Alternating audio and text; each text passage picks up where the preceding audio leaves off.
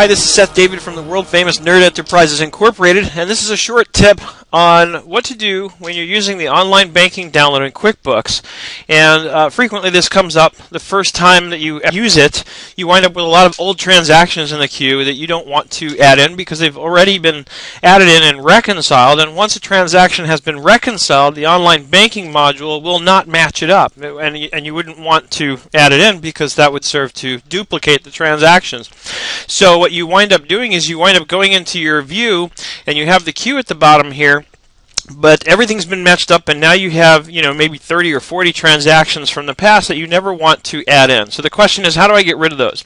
And the answer is actually very simple. This is going to be probably less than a two minute tip here in total because while you have your uh, uh, your your banking your online banking screen open like I've got here in the top section it shows you which accounts are being synced up and in the bottom it shows you what's been downloaded so in that bottom section, once you know with absolute certainty that you have added in all the transactions that you ever will want to up to this point, so that the only thing left in the queue are transactions that you for sure do not want to add in, and I'm emphasizing this because it's really important, there's no undo on this, then and only then, again, once you're absolutely assured, beyond a shadow of a doubt, that you don't want any of the transactions that are left in this queue to ever be added into QuickBooks, then while you've got this highlighted all the way over here to the right, you're going to click here where it says delete.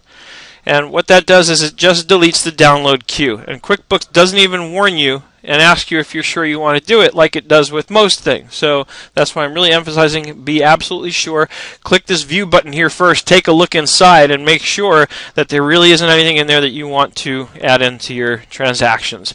Once you delete that, it's gone. Now the next time you sync up, it'll bring up the queue again here, but it will only bring up transactions that have come in since the last download.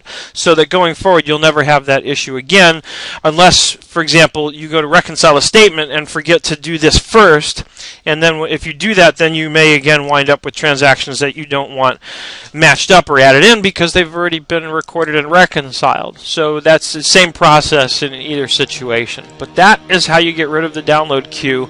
Um, and remove effectively any old transactions that you never want to actually add into your books. And that is all. As always, email me if you have any questions, Seth at nerdenterprises.com.